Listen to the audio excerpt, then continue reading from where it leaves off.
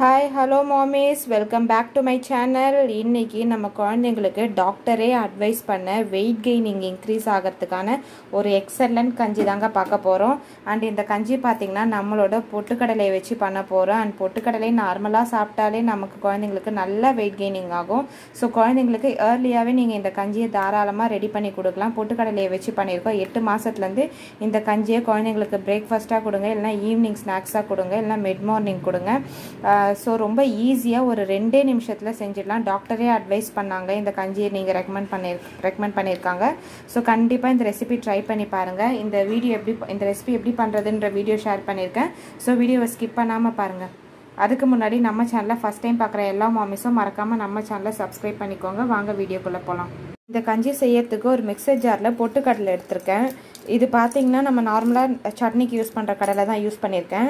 And இதில் பார்த்தீங்கன்னா இப்போ நான் வந்து கொஞ்சமாக நாட்டு சக்கரை ஆட் பண்ணிக்கிறேன்.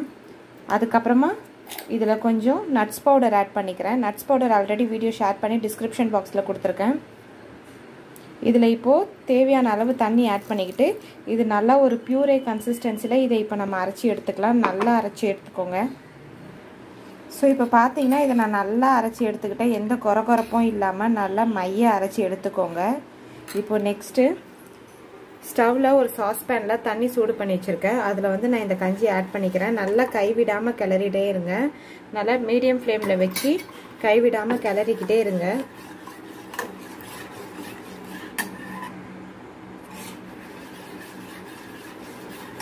ஸோ சூப்பராக வெயிட் போடும் பொட்டுக்கடலை கட். ஸோ நல்லா இதை கைவிடாமல் கிளறிட்டே இருங்க. இது பார்த்தீங்கன்னா உங்களுக்கு அந்த திக் கன்சிஸ்டன்சியில் வந்துடும் ஸோ ரொம்பவே சூப்பரான டேஸ்ட்டில் இருக்கும் இந்த கஞ்சி. ஆல்ரெடி நம்ம ஸ்வீட்லாம் ஆட் பண்ணிட்டதுனால இப்போ இதில் எதுவும் இப்போ நம்ம எக்ஸ்ட்ரா ஆட் பண்ண போகிறது கிடையாது.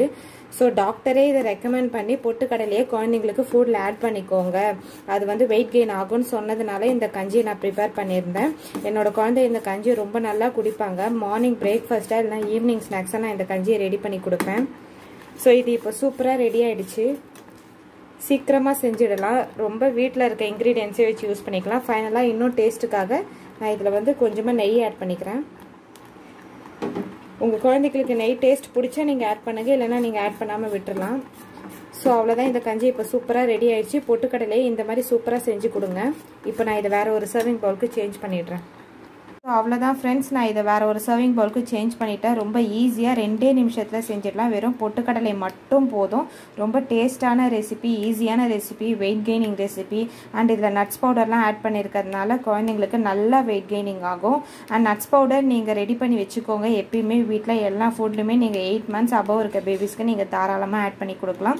ஸோ இந்த ரெசிபி ட்ரை பண்ணி பார்த்துட்டு உங்களோட கமெண்ட்ஸ் எல்லாமே என்னோட கமெண்ட் செக்ஷனில் ஷேர் பண்ணிக்கோங்க. அண்ட் இந்த வீடியோ பிடிச்சிருந்தா லைக் பண்ணுங்கள் ஷேர் பண்ணுங்கள் கமெண்ட் பண்ணுங்கள் பண்ணுங்கள் அண்ட் மறக்காமல் நம்ம சேனலை சப்ஸ்கிரைப் பண்ணிக்கோங்க. Thank you friends bye